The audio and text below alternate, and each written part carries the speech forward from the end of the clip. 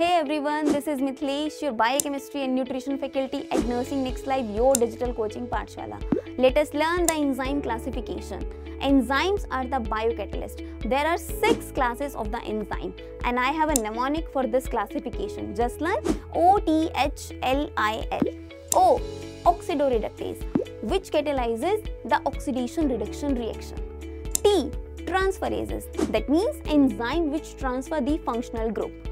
H. Hydrolases, that means which cleaves the molecule with the help of water. L. Lyases means the enzyme which cleaves the molecule without the help of water. I. Isomerases which catalyzes the isomerization reaction. L. Ligases which joins the molecule. From next time, O T H L I L.